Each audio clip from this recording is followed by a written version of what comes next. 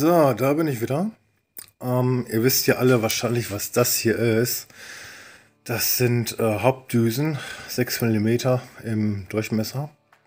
Passend für meinen Vergaser. Ähm, ja, in den Größen 50, 52, 55, 58, 60, 62, 65, 68, 70 und 72. Äh, ja, weil das Zündkerzenbild ist doch ein bisschen mager. Das bestätigt mir selbst äh, Rollertours. Ich blende euch das mal ein. Und bezüglich der Zündkerze, ja, das sieht ein bisschen mager aus, stimmt. Ne? Die sieht sehr trocken aus. Ja, jetzt habt ihr das auch gesehen. Und äh, ich will nicht, dass der Motor äh, hops geht. oder ich irgendwie einen Kolbenfresser kriege oder so. Deswegen habe ich mir die bestellt. Habt ihr ja schon gesehen in dem Vergaser-Video, wo ich den Vergaser ausgebaut habe und gereinigt habe.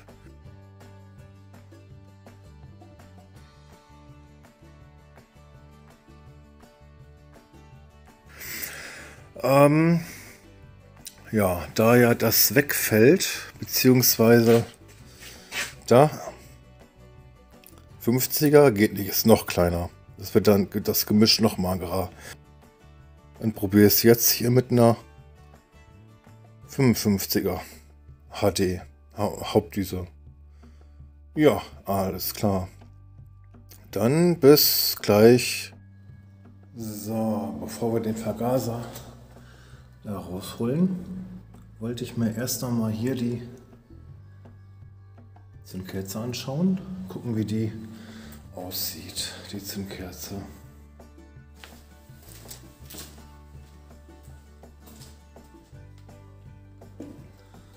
Dann bin ich jetzt mal gespannt.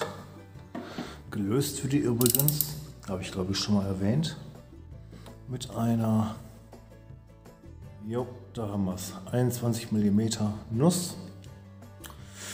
Ja, dann schauen wir uns jetzt mal die Zündkerze an, wie die aussieht.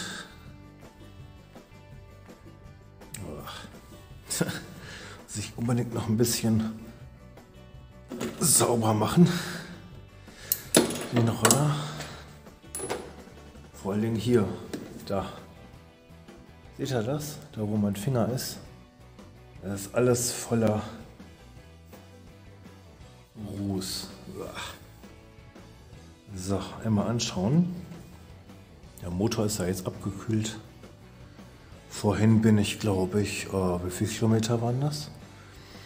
5 Kilometer hin und 5 Kilometer zurück zur Arbeit gefahren. Und ja, da kann man erkennen,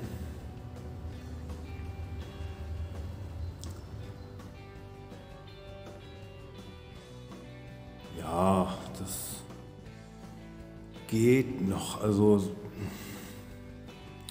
ach, ich weiß nicht, also das kommt mir irgendwie vor. Könnte ein Tick zu mager sein.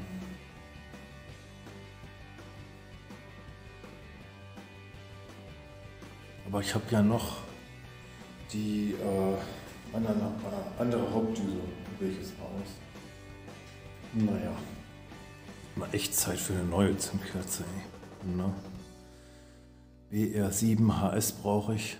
Habe ich schon ausgewählt. Ja, genau. Ja. Na gut, da ist noch weiß. Und da geht es ins Rehbraune über. Also so ein helles Braun. Da beim Isolator. Und da ist noch weiß. Ja, ich baue dann lieber die eine Nummer größer ein. Ja, Nummer, Nummer 55 baue ich dann in den Vergaser ein als Hauptdüse.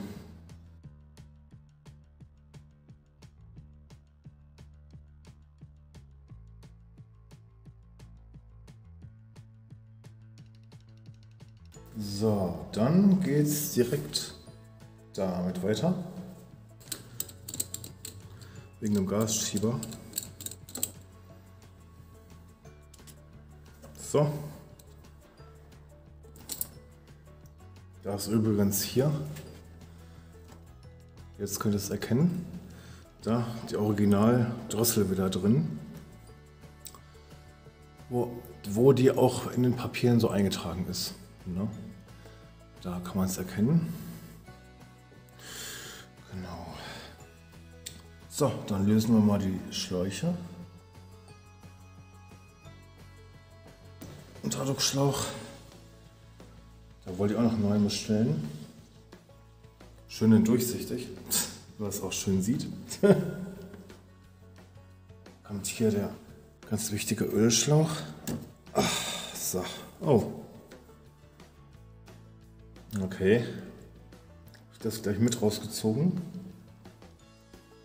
Das sollte so nicht sein, glaube ich.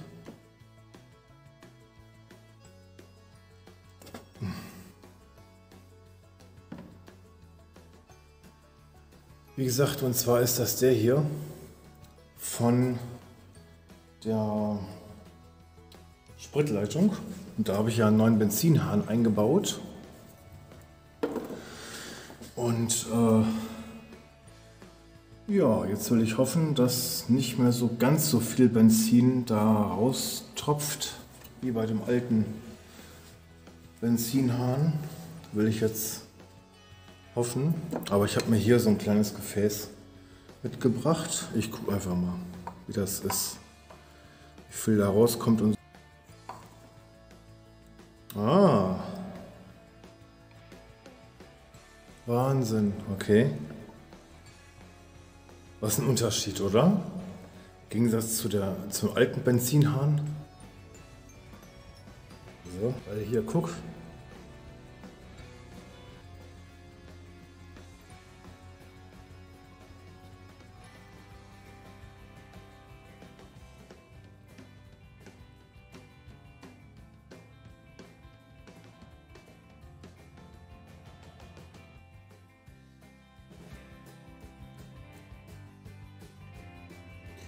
Uiui, da kommt aber ganz schön,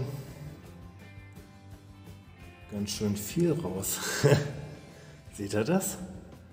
Alter Schwede, ey. Ich fülle das mal eben gerade in den Tank. Uiuiui. Na, hör doch irgendwann mal auf. Oder auch nicht. Alter, kommt da viel raus, ey. Wahnsinn. Alter, ist das geil. Da braucht man hier diesen Dingens doch gar nicht mehr. Äh, hier. Ach, hier diesen, diesen Becher. Brauchen wir noch fast gar nicht mehr. Ja.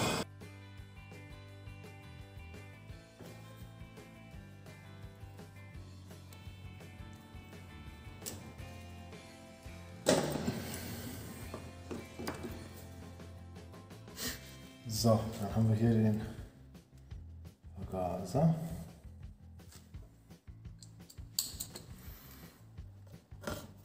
Ich habe schon das hier als losgeschraubt.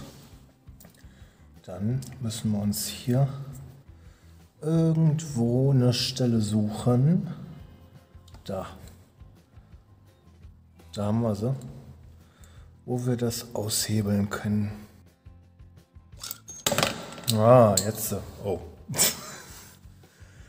äh, ja, so geht's auch. ja, das ist eine 54er Hauptdüse. Ich werde es mal probieren mit einer 55er erstmal. Nicht, dass es zu fett läuft und äh, ich dann am Ende keine, keine Leistung mehr habe. Der Qualmt wie Sau muss ja auch nicht sein. so.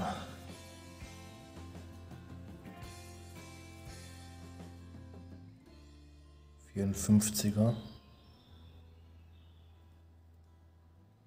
Ja. Aber die werde ich zur Sicherheit auf, aufheben. So, da kommen jetzt hier. Da.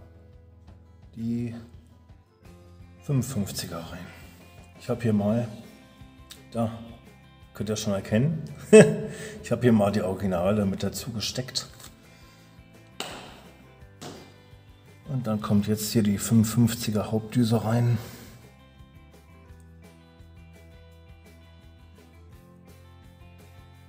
Jawohl, die passt auch vom Gewinde her. Das ist nämlich 6 mm. Eigentlich für äh, Del Orto Vergaser. Die Hauptdüsen. Aber das geht auch so. So, dann jetzt hier Schwimmerkammer wieder drauf. So, bevor es hier an den Einbau der, des Vergasers geht, habe ich doch glatt das hier fast vergessen, wo der Ölschlauch noch drauf kommt. Uah. Uiuiui. Ist ein bisschen glitschig und schmierig. Hier, das hier, wo der Ölschlauch noch drauf kommt. Ja, das wird hier einfach so reingesteckt. Da.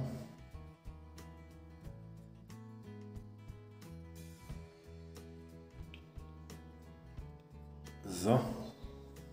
Ist auch fest drin. Wird mal ein bisschen durchblasen oder so. Zur Sicherheit. Ein bisschen durchwichsen, durchblasen.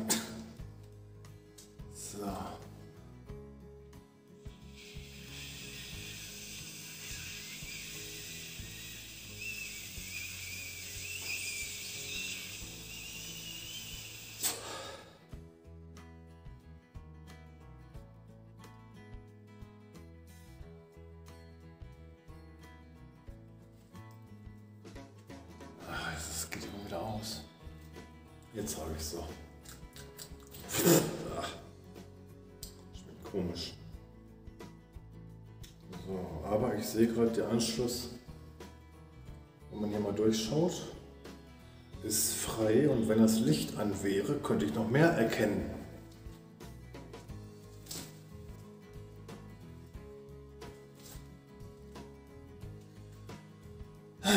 So, dann geht es jetzt mit dem Kumpel hier an den Einbau.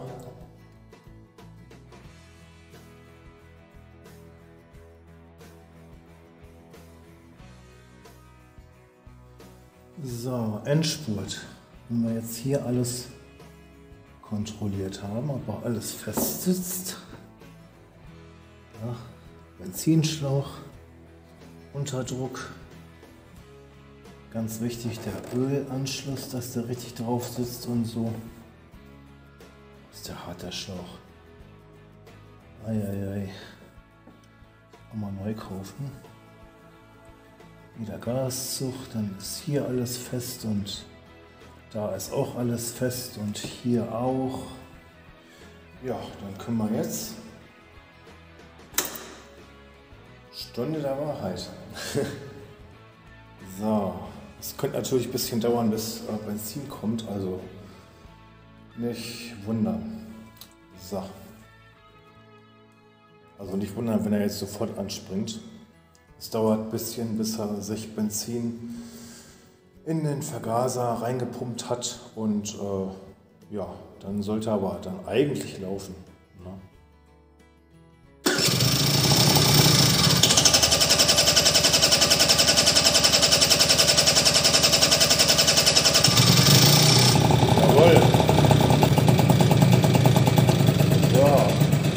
und er läuft.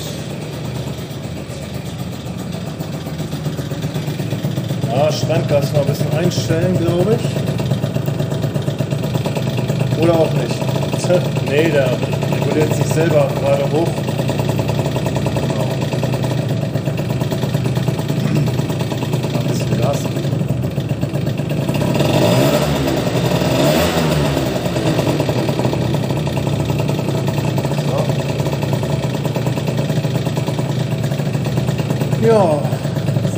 Helmfach drauf und Testfahrt machen.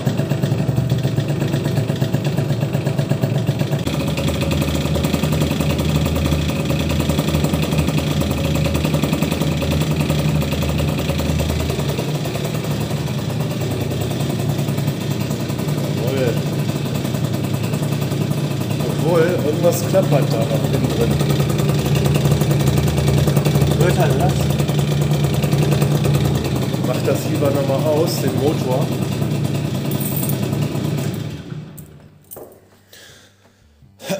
Mache ich lieber nochmal aus, den Motor.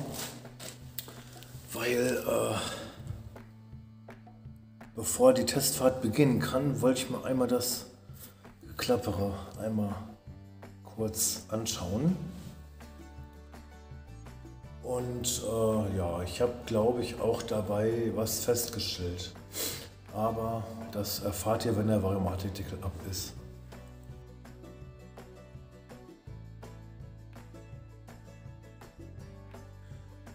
Ja, mir ist da wie gesagt beim erstmaligen Zerlegen was aufgefallen. Und zwar, äh, dass da eine Unterlegscheibe falsch montiert ist. Und welche das ist, das zeige ich euch jetzt. Dazu müssen wir diese Schraube lösen mit Hilfe von dem Blockierwerkzeug, das wir jetzt gleich anbringen.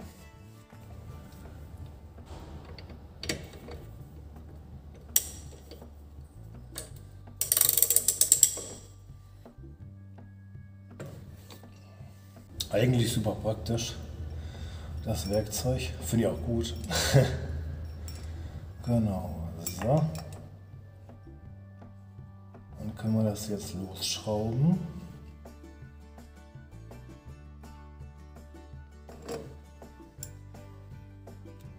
Dann hier den Keilriemen ein bisschen zusammendrücken, den alten. Obwohl ich da eh einen neuen Keilriemen bestellt habe. Da für den hier neuen Keilriemen bestellt für den Roller. Weil es einfach besser ist. Ja. Und genau diese kleine Unterlegscheibe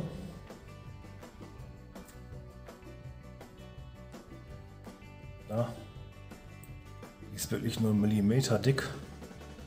Die kommt eigentlich, eigentlich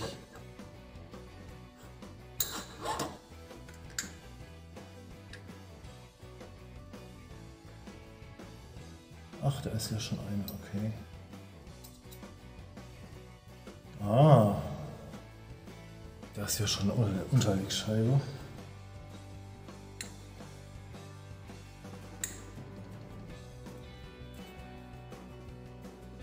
Da.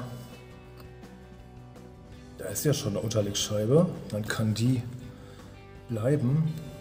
Also da. Da ist ja noch mal eine. Dann tue ich die wieder da rein.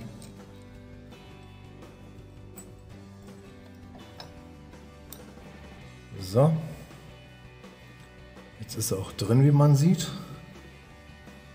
Und diese hier, da, die ja eigentlich dann da so war, die kann dann weg. Weil das habe ich dann bei vielen Modellen, habe ich das auch nicht gesehen, dass die halt da war.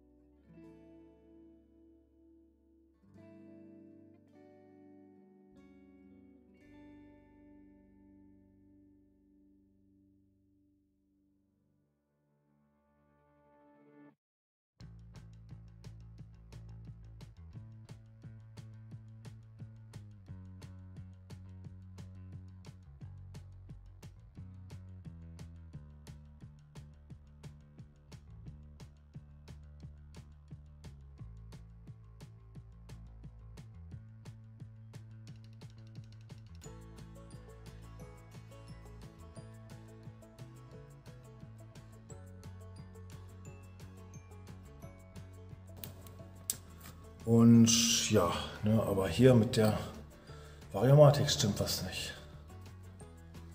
So, und zwar haben wir ja hier, da, wie man unschwer erkennen kann, die Drosselscheibe für Mofa-Geschwindigkeit. Allerdings hat der V-Besitzer das so gemacht, er hat hier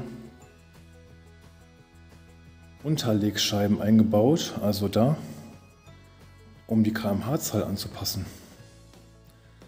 Ne? Damit hier die Scheibe ein bisschen höher kommt. Ja. Ähm, ich glaube, das sollte nicht so sein. Und die Scheibe hier geht auch bisschen schwer, lässt sich, die auch, lässt sich die auch bewegen. Und da baue ich die Scheibe ab und baue die Unterlegscheiben aus. Weil ich denke mal, so soll es sein.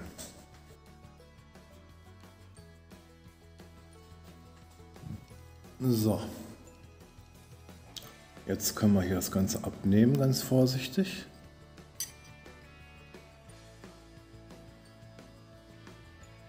und sehen schon da, da, da und da die Unterlegscheiben.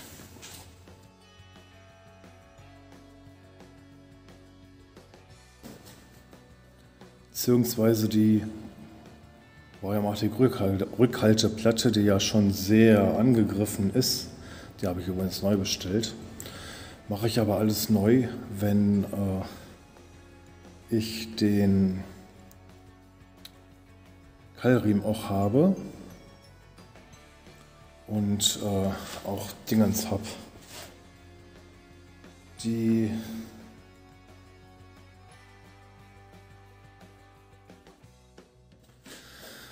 So, guck mal jetzt, wie das jetzt gleitet hoch und runter.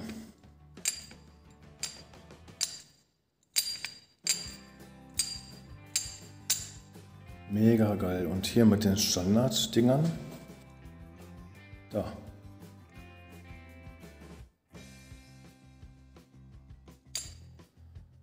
Ja, ich drücke hier nur einen kleinen Finger.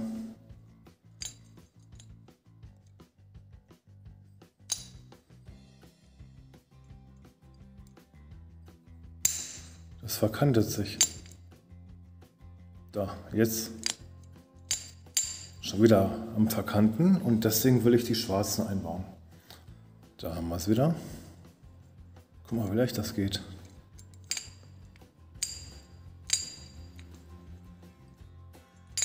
Rauf und runter.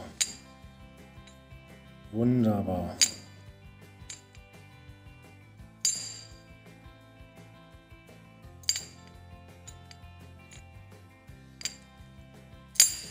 Perfekt. Da, diese Drosselscheibe wieder drauf. Natürlich ohne die äh, Dingens. Unterlegscheiben. So.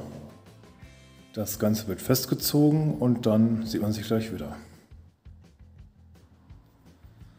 So habe ich das jetzt gemacht. Ja, hier die Unterlegscheiben drunter. Unter die Schrauben. Ich denke mal, so soll das auch sein. Dann wird das hier festgezogen. Und dann sieht man sich gleich wieder. Ich weiß, habe ich schon mal gesagt, aber naja, egal. Fertig. Jawohl, so muss das aussehen, glaube ich.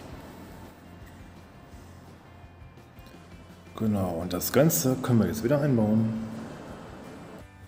So, bevor wir allerdings die Biomatik einbauen, habe ich hier eine Kupplungsglocke.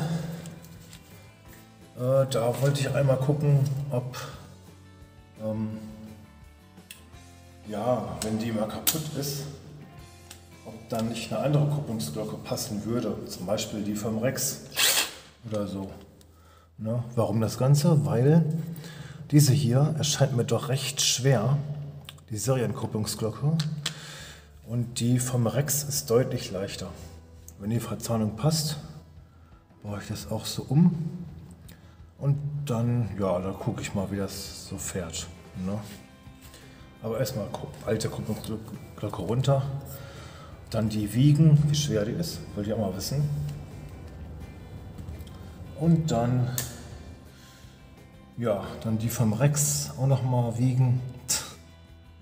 Und dann, äh, ja, dann hat man theoretisch eine bessere Beschleunigung.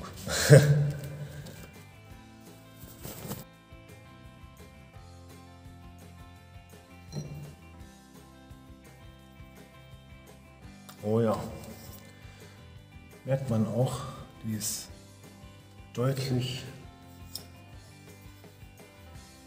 schwerer, ja.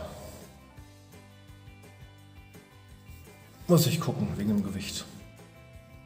So, dann kommt erst die Peugeot Kupplungsglocke drauf, die Originale. Oh. So schwer? Oh mein Gott. Wahnsinn, fast 500 Gramm. Okay.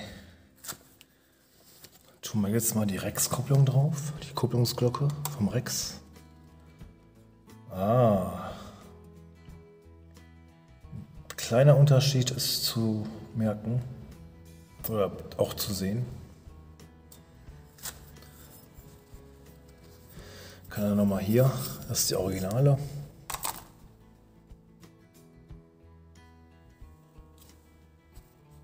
Das ist die Rex.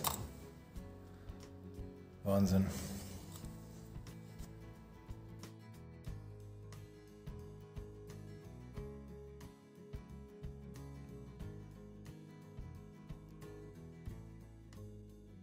So, dann können wir das Ganze wieder zusammenbauen. Wobei ich wollte mal schauen, ob die Rex-Kupplung auch passen würde. Ja, cool. Die passt auch. Ey, das ist ja geil. Okay. Weil davon habe ich nämlich noch zwei Stück von da, von diesen Kupplungsglocken. Zwei Stück. Geil.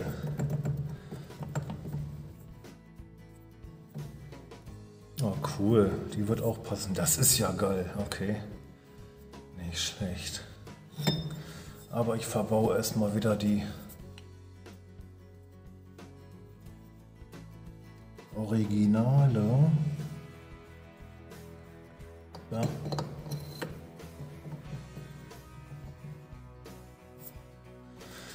Ja, die ist ja noch gut. Ne? Ich denke mal, das werde ich dann ersetzen, wenn die mal irgendwann komplett durch ist oder so.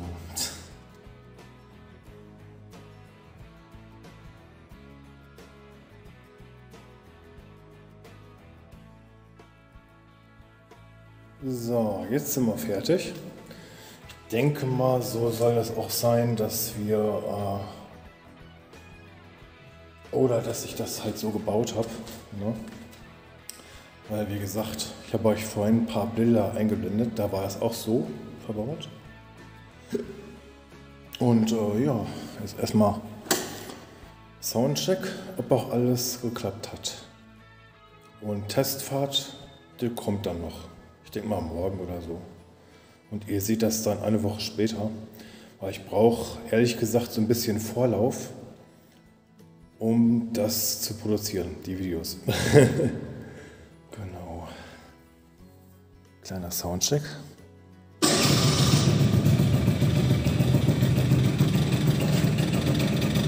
Alter, wie ruhig da läuft.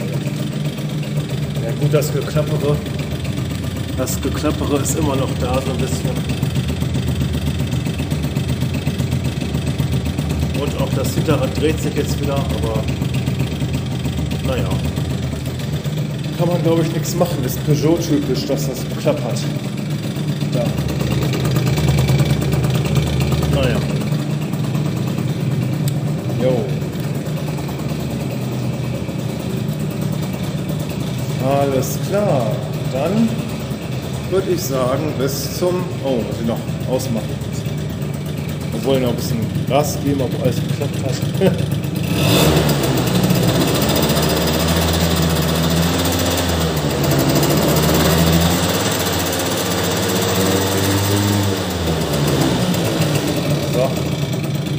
Jetzt nur Halbgas, beziehungsweise das ist Halbgas.